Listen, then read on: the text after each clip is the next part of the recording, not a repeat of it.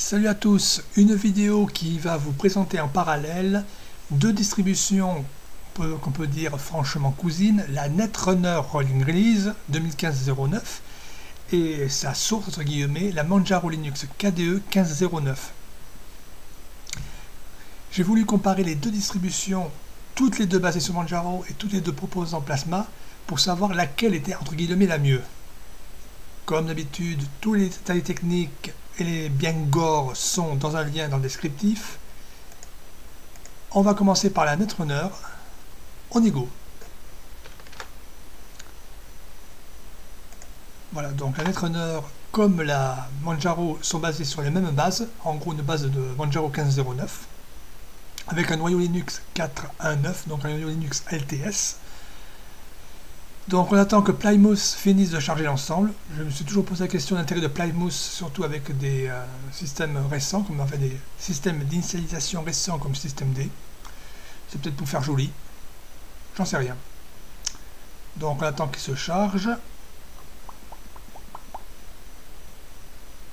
Voilà, donc on a un écran de connexion qui est pas mal. Et là, il y a un petit bug graphique c'est qu'il n'y a pas de barre de chargement. Donc on est obligé d'attendre. On ne sait pas si ça charge, où est-ce que ça en est. C'est vraiment agréable. Quoi. Au moins, s'il y avait une barre de progression, on dirait, bon, c'est presque chargé, on y est presque, encore ça, ça, ça. Non, on est obligé d'attendre. C'est sympa pour l'utilisateur qui se dit, merde, c'est planté ou pas? Dommage. Rame, rame, rame, s'attaque la falaise, rame, rame, rame. La falaise est attaquée. C'est ennuyeux déjà ça. Pour un utilisateur qui se dit merde, est-ce que c'est planté? Est-ce que ça charge? Est-ce que ça charge pas? Voilà, vous avez compté à peu près 10 à 15 secondes d'écran noir. Donc la personne peut se dire merde, c'est planté, je vais redémarrer la machine et voilà, on balance dans la poubelle. Donc là, on a un thème de KDE très euh, glacis, très, très joli. Ça, on ne peut pas lui enlever. Ce n'est pas le menu KDE habituel, c'est une version, je ne sais pas comment il s'appelle, c'est un menu comme ça, qui est entre guillemets simplifié. Ouais. Donc on a sur le côté la configuration système, euh, ça c'est le réseau je pense, Octopi, puis je ne sais pas pourquoi ils ont mis le capture d'écran ici, enfin la capture vidéo d'ici. Donc on a quelques jeux, hop ça. Voilà donc je rajouterai peut-être un ou deux jeux. On a Steam aussi qui est proposé par défaut. c'est comme ça. Côté graphisme, on a euh, l'équivalent d'un truc habituel quoi. Côté internet, on a Firefox, Skype. Pour les personnes qui l'utilisent, c'est sympa. En multimédia, nous avons Gmusic Brother pour tout ce qui est audio et VLC, donc euh, c'est quand même pas mal comme équipement. LibreOffice 5X, si mes souvenirs sont bons. Donc, enfin, je regarde après. Tout ce qui est outil système comme Dolphin, Info euh, Center et compagnie. Donc, je reviendrai sur Muon un petit peu, plus tard. Les utilitaires, donc il n'y a pas. Je me demande pourquoi il y a l'outil SUSE. Je sais pas. là, voilà. Donc, vous voyez déjà, il n'y a pas grand chose apparemment. C'est sympa parce qu'on me dit souvent que KDE, il y a plein de trucs. C'est sympa. Donc là, on va aller sur les points entre guillemets négatifs. Euh, on va commencer par Muon. Déjà, bon, euh, ce menu n'est pas extraordinairement ergonomique. Vous allez comprendre pourquoi plus tard. Euh, donc on va aller... voilà, système, on va être dans Muon. Découvrir de Muon. C'est un outil qui utilise, utilisé par KDE pour installer des logiciels c'est pas franchement très euh, pratique. Bon, j'ai vu qu'il y avait quelques jeux déjà préinstallés. Donc on va essayer d'installer des jeux. On va mettre un jeu de cartes. Euh, on va mettre un jeu de cartes KDE, ce sera mieux déjà. Je crois que Hearts est un... Non, c'est un jeu GNOME, donc c'est pas ça qui m'intéresse. S Riot. Poker TH. Euh, S Riot, je crois que c'est sur que du gnome. Donc on va voir notre jeu. Un puzzle peut-être. Atomix, Black Box, Bridges, Cube. Je essayer de trouver un jeu KDE, ça sera mieux. Oh, tiens, jeu Wild. Alors on est installé, donc on va essayer celui-là. Et là on attend. Ah, il est installé. J'ai de la chance, il est installé apparemment. Alors, est-ce qu'il est installé ou pas? On va voir dans jeu? Oui. Donc pour une fois, j'ai la chance, c'est passé. Donc là, on va voir un autre outil, on va prendre quelque chose de plus lourd. J'avoue que l'intérêt de, de, de, Muon me fait poser des questions. Euh, Valley Stunt Rally, X-Moto, il n'y a pas grand chose là-dedans. Shoot arcade peut-être. Atomic Tanks, Bubble Volley, Bubble Tank. Euh, Capman est déjà installé donc c'est pas la peine. On va prendre Cablox, tiens.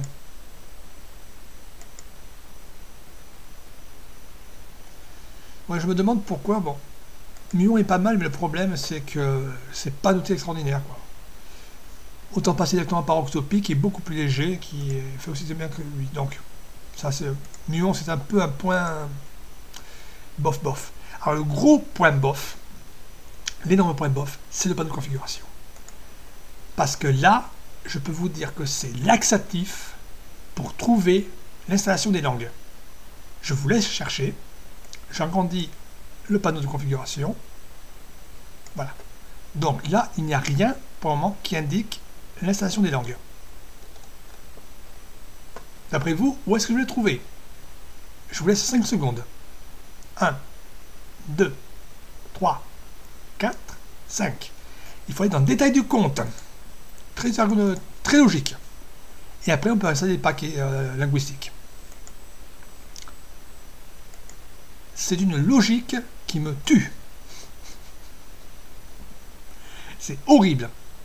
Quelle idée d'avoir mis ça là-dedans? Et même pour les noyaux, quand euh, pour gérer le, noyau, c'est ici. Dans la, la partie avancée.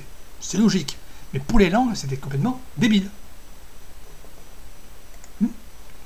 Ce qui est dommage aussi, c'est qu'il y a le doublon entre Muon et Octopi. Parce que Octopi, voilà, quand on le lance, déjà c'est beaucoup plus rapide. C'est moche, c'est plus rapide. Enfin, théoriquement, voilà. Et après, il n'y a plus qu'à chercher. Par exemple, si on va dans KDE Games, boum. Voilà, alors là, pour installer, crac, appliquer. Bien sûr, c'est un peu plus technique, mais je m'excuse, ça fonctionne aussi bien. Et si je veux installer l'ensemble du groupe, je mets KDE Games pour les logiciels qui manquent. Voilà. Installation du groupe. Appliquer. Oui. Et là, je vais avoir tous les jeux KDE installés. Bon, c'est vrai que c'est dommage qu'une partie ne soit pas installée, mais euh, je m'excuse quand même. Octopi est beaucoup plus pratique, ne serait-ce que pour gérer les mises à jour c'est plus pratique, c'est mieux conçu quoi. Ce qu'on ne peut pas enlever par contre à l'heure, c'est qu'elle est très bien francisée. La preuve avec Dolphin, c'est en français. Les icônes par contre sont un peu grosses, donc je vais essayer de les réduire. Ajuster les paramètres d'affichage. Hop, ça. Oula, bon d'accord, ça c'est. Configuration, configurer Dolphin peut-être. Comme je n'ai pas l'habitude de Dolphin, je vais un peu galérer. Un d'affichage. Taille des icônes, on va les diminuer au moins de moitié. Non, c'est un peu, trop, un peu trop petit là par contre. Euh, configurer Dolphin, taille des icônes.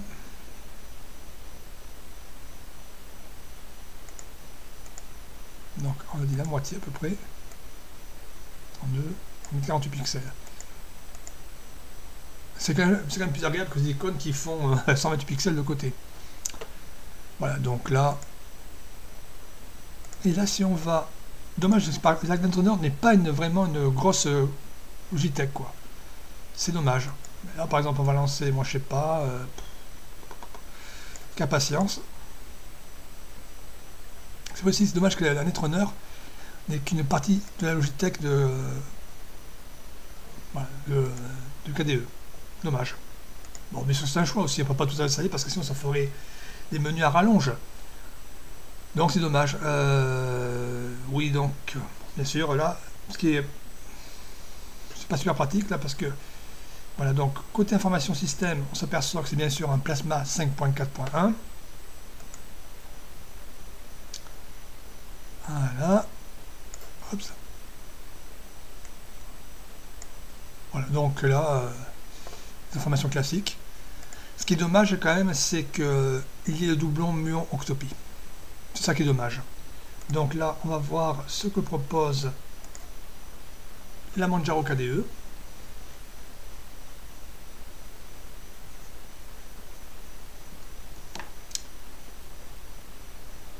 Ah, Plymouth. Bon, maintenant on va lancer Manjaro KDE.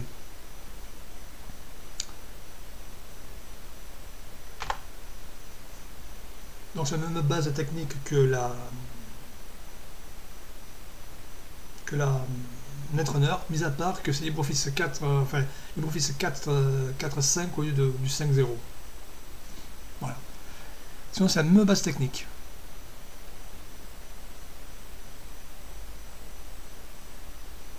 Donc là, normalement, ça va charger. Il va me charger SDDM. Voilà. C'est quand même plus sobre. Mais ça, c'est bien. Au moins, on est informé de l'avancement du, chargement du bureau. On n'est pas obligé de regarder la diode de l'ordinateur pour voir si, le disque dur, enfin, si le disque dur ou le SSD est utilisé. C'est sympa. C'est des petits détails qui rendent l'utilisation euh, plus agréable.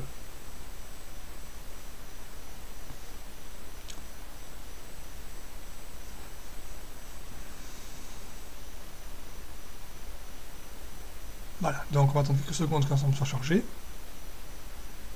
Donc voilà, on a un environnement qui est beaucoup plus light déjà. Bon, il faut aimer les icônes un peu plates, je ne suis pas super fan de ce style. Merci pour... Voilà, je vais fermer. On a le panneau de démarrage de Manjaro. Voilà, donc ça après on peut toujours le décocher. Voilà. Donc voilà, nous sommes avec une Manjaro KDE. Je pense que l'équipement logiciel doit être un peu plus complet. Pas franchement plus. L'équipement logiciel est quand même pas très complet non plus. Il y a le strict minimum. Enfin, du moins, ne serait-ce que pour les jeux. Pour le multimédia, il utilise Cantata au lieu de G-Music Browser. Donc là, on a quand même un environnement qui est plus léger, comme ça. Mais qui répond bien. je je me demande pourquoi il y a toujours le petit de de, Euh, il y a, qu'Octopi pour gérer les logiciels, tant mieux. Ça évite comme ça d'avoir des doublons. Côté logiciel internet, on a quand même pas mal de petits trucs, comme vous pouvez constater. Donc ça on va dans les favoris. Euh, bon, comme l'autre, bien sûr, c'est traduit en français. Par contre, les icônes, c'est vrai qu'elles sont un peu grosses, donc on va changer leur taille pour les rendre un peu plus supportables. Voilà, on va descendre à 32 pixels. Voilà, bon, 32 c'est un peu petit, on va mettre 48.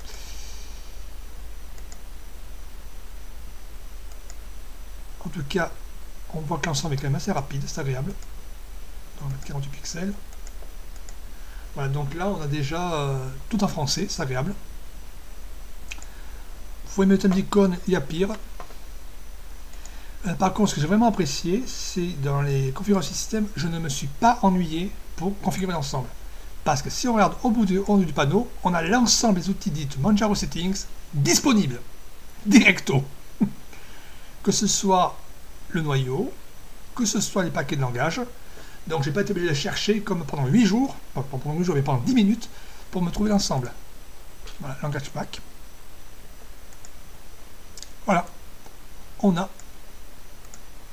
Idem pour... Euh, voilà, donc là par défaut, euh, voilà. C'est quand même plus pratique. Voilà, pour les réglages, euh,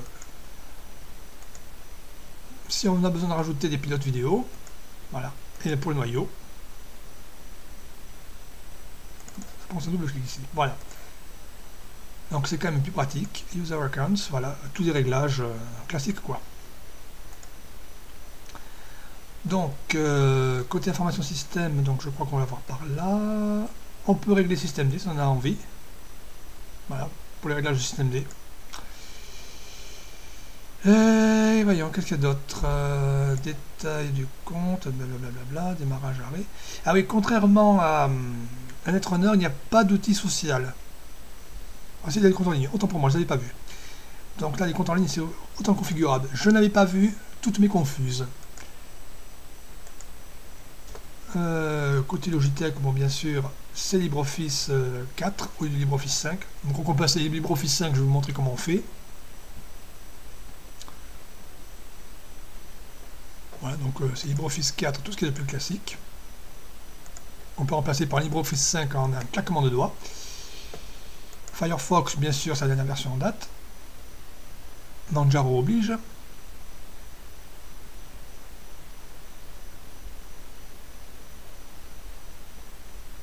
Voilà, donc c'est 4101. Euh, doit être en anglais. Non, est en français. Autant pour moi. Donc déjà, c'est pas si mal que ça. Euh, on a le menu clavier classique. Chouette. J'ai envie de dire chouette. Euh, voyons, euh, graphisme, on a tout outils classique quoi. On a quand même ça des outils. Sur certains plans, la Manjaro est plus complète, sur d'autres plans, c'est un Netrunner. Mais l'un dans l'autre, la Manjaro s'en tire pas trop mal. Donc là, on va vider l'historique. Ben, on va passer par Octopi pour changer de version de LibreOffice. Voilà. Donc là, on peut très bien utiliser Yaourt pour voir le paquet AUR ou pas. Donc LibreOffice.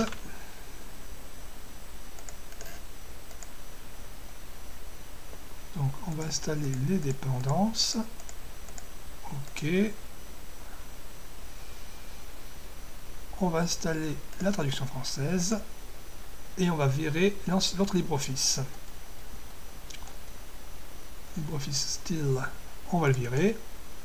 Supprimer. Euh, oui, donc là, on va, commencer, on va commencer déjà par supprimer. On va commencer par supprimer LibreOffice Style. Voilà. OK. Et après, on installera LibreOffice tout court.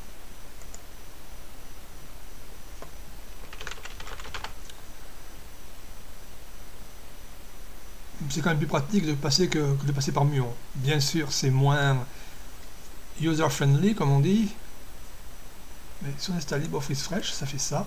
Voilà, donc je vais installer LibreOffice Fresh avec ses dépendances. Clac, clac, clac, clac, clac, Et la traduction qui va bien.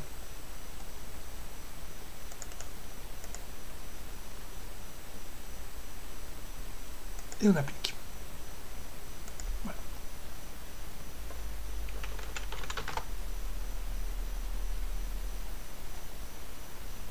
Avec un bon euh, dépôt en face, un bon serveur qui répond bien en face, c'est quand même assez rapide.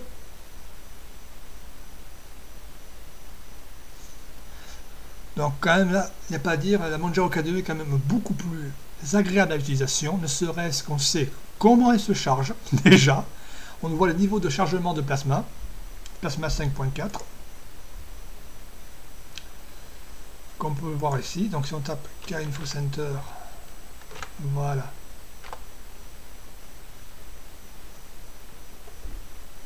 on voit que c'est la même version que sur la Netrunner Running Release.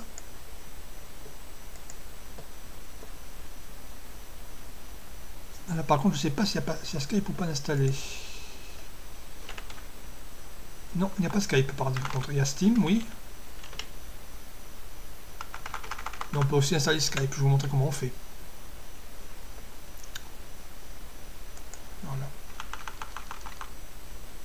On va voir si je peux installer Skype. Si je ne peux pas, tant pis. Si on peut mettre un Skype. Donc là, je, on peut en quelques instants euh, installer euh, l'équivalent du Netrunner sur certains plans. Voilà, on va installer Skype. Même si je n'utilise pas, on peut toujours l'installer.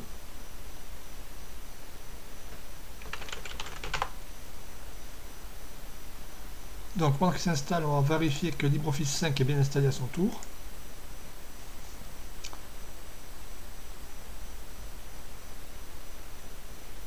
Voyez, en l'espace de deux minutes, j'ai fait l'équivalent d'une Netrunner Rolling.